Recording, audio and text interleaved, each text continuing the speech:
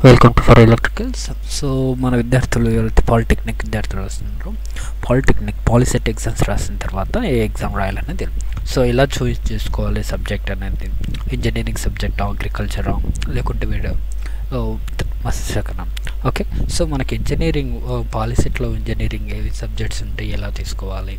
So వాటికి సంబంధించిన అనేది ఇక్కడ ఇద్దాం ఓకే సో ఇంజనీరింగ్ ఇంజనీరింగే కాకుండా మనకు పాలిసెట్కి సంబంధించి డిఫరెంట్ డిఫరెంట్ ఉన్నాయి. ఓకే సో అందులో తీసుకుంటే మనకు ఒకటి. ఓకే సో ఏమేమి ఉన్నాయి అంటే సో మనకి ఇంజనీరింగ్ సంబంధించినవి. సో ఇంజనీరింగ్ ఉన్నాయి. నెక్స్ట్ అగ్రికల్చర్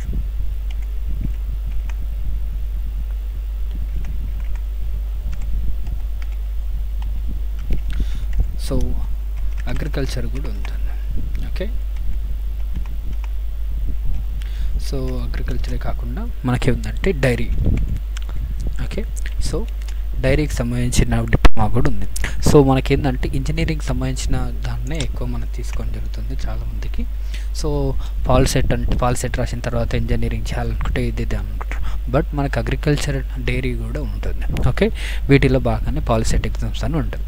సో మనకి ఎక్కువగా మంది ఏంటంటే ఇంజనీరింగ్ దాని పాలిటెక్నిక్ రాసిన పాలిసెట్ ఎగ్జామ్ తర్వాత ఇంజనీరింగ్ చేయాలనుకుంటాం ఓకే సో ఇంజనీరింగ్లో మనకి ఏంటంటే టెక్నాలజీ కోర్సెస్ ఉంటాయి. ఇంజనీరింగ్ సో అగ్రికల్చర్ అంటే అగ్రికల్చర్ సంబంధించిన పాలిటెక్నిక్ కాలేజీలు డైరీ ఫార్మ్ డైరీకి సంబంధించిన uh, కాలేజెస్ సపరేటేషన్ ఉంటాయి. ఓకే సో ఇక్కడ మనకు ఇంజనీరింగ్ సంబంధించిన వాటి గురించి ఇప్పుడు మన టాపిక్ సో ఇంజనీరింగ్ సంబంధించిన పాలిటెక్నిక్ ఏ కోర్సెస్ ఏమి ఉంటాయి? ఓకే సో ఇప్పుడు చూద్దాం. సో పాలిటెక్నిక్ కోర్సెస్ ఇవి. సో ఎక్కువగా ఉందంటే diploma in electrical civil engineering mechanical engineering so ఈ మూడు కోర్సెస్ ఏంటంటే మనం కోర్స్ కోర్ కోర్సెస్ అంటాం. సో ఏవైతే ఏ కోర్సులు అన్నా కూడా మూడింటికి చాలా విన్నాం. సో ఎక్కువగా ఏంటంటే diploma in mechanical civil electrical and electronics so మూడు ఏంటంటే ఎక్కువ మంది ఏంటంటే గవర్నమెంట్ జాబ్స్ ఉన్నాయని దానికోసం ఎక్కువగా డిప్లొమా పైన జేఈ కానీ ఎస్ఎస్సి కానీ సో సబ్ ఇంజనీర్ కానీ చేయడానికి ఎక్కువ అవకాశం ఉంటుంది కాబట్టి. సో చాలామంది ఏంటంటే diploma triple diploma in civil engineering mechanical engineering తీసుకుంటారు ఓకే? సో మిగతా కోర్సెస్ కూడా ఏంటంటే ఇంజనీరింగ్ విద్య ఏవైతున్నాయో సెకండరీలో. సో మనకి ఏంటంటే డిప్లొమా అనేది మొదటి. సో ఇక్కడ ఏంటంటే డిప్లొమా అనేది త్రీ ఇయర్స్ కోర్సెస్ ఇవన్నీ సో ఇవన్నీ కూడా ఏంటంటే three years courses so three years courses ఈ మూడు ఇవన్నీ కూడా త్రీ ఇయర్స్ కోర్సెస్ సో ఇక్కడ ఇవి ఏంటంటే special so main courses so మళ్ళీ కూడా three years courses so electrical electronics engineering diploma in civil engineering diploma in mechanical engineering diploma in electronics communication engineering diploma in computer so దీని ఏంటంటే డిసిఎంఈ అంటాం. Okay ఇవన్నీ కూడా ఏంటంటే త్రీ ఇయర్స్ కోర్సెస్ సో ఇవి ఏంటంటే మెయిన్గా ఏ ఇంజనీరింగ్ సెకండ్ షిఫ్ట్ పాలిటెక్నిక్ అయినా గవర్నమెంట్ పాలిటెక్నిక్ కాలేజెస్ అయినా ఈ కోర్సెస్లో ఏదో ఒక రెండు కోర్సులు అని మూడు కోర్సులు అని ఉంటాయి. ఓకే? సో ఈ కోర్సెస్ అంటే మీరు సెలెక్ట్ చేసుకున్నప్పుడు ఏ దాన్ని బేస్ చేసుకోవాలి? అంటే సో సపోజ్ మీరు గవర్నమెంట్ జాబ్ ఓరియంటెడ్కి వెళ్ళాలి ఎలక్ట్రానిక్ సంబంధించి వెళ్ళాలనుకుంటే దీనికి సంబంధించినది.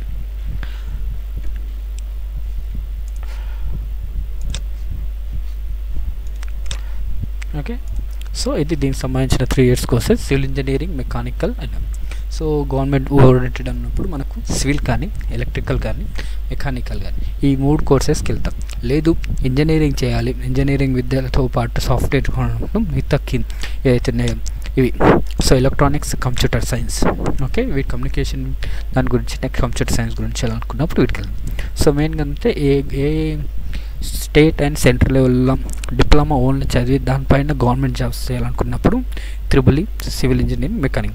So దీని నుంచి ఏంటంటే మనకి ఏంది? SSC JE RRB next so Transco next SPDCL. So ఇవన్నీ కలిపి ఏంటంటే మనం డిస్కమ్ అనుకుంటే next Genco. Okay so Telangana ఏదైనా సరే ఆంధ్రలో అయినా సరే. సో ఏ సబ్జెక్ట్స్ ఏది తీసుకున్నా సరే మనకు ట్రాన్స్పోర్ట్ డిస్కమ్ జనరేషన్ మూడిట్లకి ఏంటంటే డిప్లొమా ఇన్ ఎలక్ట్రిక్ ఎలక్ట్రానిక్స్ అని చేసి మూడిట్లో సబ్ ఇంజనీర్స్ కానీ అసిస్ట్ మనకు జూనియర్ ఇంజనీరింగ్ కోర్సెస్ అంట. సో కొన్ని కొన్ని రాష్ట్రాల్లో ఏంటంటే సబ్ ఇంజనీర్ బదులు ఏంటంటే జూనియర్ ఇంజనీరింగ్ అంటారు. సో మన రాష్ట్రంలో అయితే తెలంగాణలో అయితే సబ్ ఇంజనీరింగ్ అని అంటారు. ఓకే సో ట్రాన్స్పోర్ట్ డిస్కమ్ జన్ జెన్కో ఈ మూడిట్లో మనకి ఏంటంటే సబ్ ఇంజనీర్స్ చేయాలనుకుంటే diploma in electrical electronics engineering చేయొచ్చు. ఓకే? సో అదే ఎస్ఎస్సి జేఈ అని అనుకోండి. ఎస్ఎస్సి జేఈలో మనకు సివిల్ ఇంజనీరింగ్ కానీ మెకానికల్ ఇంజనీరింగ్ కానీ ఎలక్ట్రానిక్స్ ఇంజనీరింగ్ ఎలక్ట్రికల్ ఇంజనీరింగ్ ఈ మూడిటి కోర్స్ పైన మనకు కాంట్రాక్ట్ బేస్ పైన sub engineer junior engineering courses ఉంటాయి. సో అలాగే ఆర్ఆర్బీకి సంబంధించిన కోర్సెస్ కూడా ఇలా పడుతుంటాయి. Okay? So next coming to the civil engineering so civil engineering వచ్చేసి ఆర్ఆర్ ఓకే సో మనకు ఏవైతే ఇరిగేషన్ శాఖ ఉంటుందో ఇరిగేషన్ డిపార్ట్మెంట్లో మనకు సివిల్ ఇంజనీరింగ్ జాబ్స్ అని పడుతుంటాయి అలాగే so RNB so roads and building development okay దాంట్లో కూడా మనకు యాజ్ డిప్లొమా సివిల్ ఇంజనీరింగ్ తర్వాత మనకేం ఉంటుందంటే సో సివిల్ సర్ సర్వేయర్గా వర్క్ చేయాలనుకున్నప్పుడు కోర్సెస్ కింద సో సివిల్ ఇంజనీరింగ్ అనేది కంపల్సరీ ఓకే? సో మనకు రెవెన్యూ శాఖ రెవెన్యూ శాఖలో కూడా సివిల్ ఇంజనీరింగ్ సంబంధించిన కోర్సెస్ ఉంటాయి. ఓకే? సో సర్వేయర్గా ఉన్నప్పుడు మీరు డిప్లొమా ఇన్ సివిల్ ఇంజనీరింగ్ చేసిన వాళ్ళకి ఎలిజిబిలిటీ ఉంటుంది. అదే కమింగ్ టు ద మెకానికల్ అయితే సో మెకానికల్ అయితే ఏపీఎస్ ఏపీ అయినా సరే టీఎస్ రామ్. ఓకే? సో రెండిట్లో ఏంటంటే రవాణా శాఖలో ఎక్కువ జాబ్స్ ఉంటాయి. ఓకే సో మెకానిక్ సంబంధించి. అలాగే ఇది ఏ ఇండస్ట్రీస్కి వెళ్ళినా సరే మెకానికల్ ఇంజనీరింగ్ డిప్లొమా బేస్ పైన తీసుకుంటాం. ఓకే సో ఇది గవర్నమెంట్ సెక్టర్ అదే ప్రైవేట్ సెక్టర్ తీసుకుంటే మనం డిప్లొమా చేసిన తర్వాత మెయింటెనెన్స్ ఇంజనీరింగ్గా సర్వీస్ ఇంజనీరింగ్గా సర్వీస్ ప్రొవైడర్గా మన ఎలక్ట్రికల్ వాళ్ళు తీసుకోవచ్చు అదే సిప్ల సివిల్ వెళ్తే సో వీళ్ళు ఏంటంటే సపరేట్గా కాంట్రాక్ట్ కూడా తీసుకోవచ్చు. ఓకే కన్స్ట్రక్షన్ కాంట్రాక్టర్ తీసుకోవడానికి ఉంటుంది.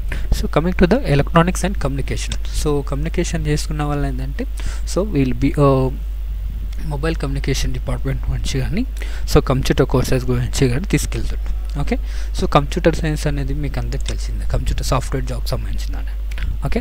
సో ఇవే కాకుండా మనం ఏంటంటే ఈ మూడు ఈ నాలుగు కోర్సెస్ ఎక్కువ వింటాం.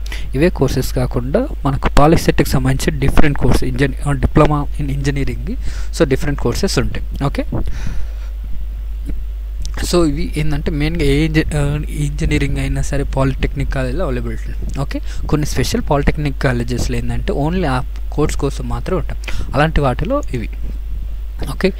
Diploma in automobile engineering mechanical sandwich mining engineering computer commercial practicing printing technology electronic sandwich so automobile engineering is coming the part of the mechanical okay so automobile engineering diploma automobile చేసిన తర్వాత engineering అనేది మనం mechanical engineering చేస్తాం. So mechanical sandwich అనేది automobile plus mechanical రెండింటి combination course ఉంటుంది. ఇది three and half years course half year మొత్తం కూడా ఏంటంటే industrial training three years course ఉంటుంది. సో మైనింగ్ ఏం జరిగిందంటే మైనింగ్ సంబంధించిన సో ఇది ఓన్లీ మనకు ఇక్కడ కొత్తగూడెం దగ్గర కొత్తగూడెం సింగరేణి క్యాలెస్ దగ్గర మీకు ఉంటుంది ప్రైవేట్ క్వాలిటీ ఓకే మైనింగ్ సంబంధించి engineering call so computer commercial practicing అనేది కం సో ఇదొక స్పెషల్ ఇదొక ఇది కూడా ఒక so as that so EC next computers రెండింటి కాంబినేషన్స్ ఉంటుంటాయి కొన్ని courses so printing technology so government college printing technology అనేది సో స్టేట్ వైజ్గా రెండు ఒక కాలేజ్ ఉంటుంది. సో ఆ కాలేజ్ ఆ ప్రింటింగ్ టెక్నాలజీకి సంబంధించిన కాలేజెస్ అనేది దాని గురించి. ఓకే ఇది ఓన్లీ గవర్నమెంట్ కాలేజ్ మాత్రమే ఉంది ప్రింటింగ్ టెక్నాలజీ అని సో ఎలక్ట్రానిక్ శాండ్విచ్ అనేది కోర్సు కూడా గవర్నమెంట్ ఆఫ్ ఎలక్ట్రానిక్స్ జీఓఈ అనేది ఉంది. సో అది ఇక్కడ మనకు ఒక సపరేట్ గర్ల్స్ కోసం కాలేజ్ అవుతుంది ఓకే సో మీరు తీసుకునేటప్పుడు ఏదైతుందో కోర్సెస్ని తీసుకునేటప్పుడు చాలా జాగ్రత్తగా. సో మీకు నచ్చిన కోర్స్ని తీసుకోవడం. సో ఎందుకంటే డిప్లొమాలో జాయిన్ అయిన తర్వాత మీరు చేసేది ఇంటర్లో అయితే సో ఈ కోర్స్ కాకపోతే వేరే కోర్స్ వేరే కోర్స్ సో ఈ ఇంటర్ కాకపోతే ఇంజనీరింగ్ కాకపోతే డిప్ డిగ్రీ డిగ్రీ కాకపోతే ఏవైనా టీటీసీ బీఈడి ఏవైనా కోర్సెస్ చేయొచ్చు. బట్ యాజ్ ఏ పాలిటెక్నిక్ కాలేజీలో ఒకసారి ఎంట్రిన తర్వాత టోటల్ కూడా ఏంటంటే ఇంజనీరింగ్ ఉంటుంది. సో మీరు ఫస్ట్ తీసుకునేటప్పుడు ఏ కోర్స్ అయినా సరే ఒకటే కోర్స్ని ఇష్టంతో ఇంట్రెస్ట్ తోటి తీసుకోవాల్సి వస్తుంది. సో మీరు ఏ కోర్స్ తీసుకున్నా సరే పాలిటెక్నిక్లో చాలా మటుకు అన్నీ నేర్చుకుంటారు. ఓకే సో ప్రతి కోర్స్ ఏ కోర్స్ ఈజీ కాదు ఏ కోర్స్ అంత టఫ్ కూడా ఉండదు. సో చదివే విధానం బట్టి మనకు ఏ కోర్స్ అయినా సరే ఈజీ అయినా హార్డ్ అని మారుతూ ఉంటుంది. ఓకే సో ప్రతి కోర్సుకి కూడా ఏంటంటే సెల్ఫ్ ఎంప్లాయ్మెంట్ గవర్నమెంట్ జాబ్స్ ప్రతి దానికి ఉంటుంది. ఓకే సో ఇది పాలిటెక్నిక్ విద్యకు సంబంధించిన కోర్సు. సో పాలిసెట్ ఎవరైతే రాసింటారో ఫస్ట్ మీరు ఏ సబ్జెక్ట్స్ ఉన్నాయో ఆ సబ్జెక్ట్కి సంబంధించిన మీ సీనియర్స్ కానీ మీకు సంబంధించిన చుట్టాల వల్ల కానీ సో సబ్జెక్ట్ వాటికి సంబంధించి కూడా అడిగి తెలుసుకోండి. ఓకే సో ఎవరో కోర్సెస్ మీరు మీరు తీసుకునేటప్పుడు కూడా ఏంటంటే సో ఫస్ట్ మీరు ఏదైతే ఉన్నాయో ఓకే. సో మీరు తీసుకునేటప్పుడు ఏదైతే కోర్సెస్ ఏదైతే ఛాయిసెస్ ఫేస్ చేసేటప్పుడు మీరు ఫస్ట్ ఒక పేపర్ పైన మీరు ఏ కాలేజెస్ ఉన్నాయో okay. So first college name తర్వాత course okay. So college course so ఈ వీటిని ఫస్ట్ ప్రిఫరెన్స్ ఇస్తుంటూ వెళ్ళాను. తర్వాత మీరు గవర్నమెంట్ కాలేజ్ చేస్తా ప్రైవేట్ కాలేజ్ చేస్తా మీరు ఏ కాలేజ్ చేయాలనుకుంటే ఫస్ట్ వారికి సంబంధించిన కోర్స్ అని తీసుకుంటూ వెళ్ళండి. సో ఇక్కడ ఏంటంటే మీరు ఆప్షన్స్ ఇచ్చుకునేటప్పుడు పది ఇరవై కాకుండా సో మీకు ఆ మ్యాక్సిమం ఎన్ని ఆప్షన్స్ మీకు వచ్చిన ర్యాంక్ని బట్టి మినిమం ఒక థర్టీ టు ఫార్టీ ఆప్షన్స్ ఇవ్వడం మంచిది. ఎందుకంటే కోర్సెస్ అనేవి రాకపోవచ్చు. ఓకే సో మీకు నచ్చిన కోర్స్ రాకపోతే మీరు అనేది సెకండ్ కౌన్సిలింగ్లను మీరు చేంజ్ చేసుకోవచ్చు. ఓకే బట్ ఏంటంటే మీరు కాలేజ్ వైజ్ ఫస్ట్ మీరు కాలేజ్ అండ్ కోర్స్.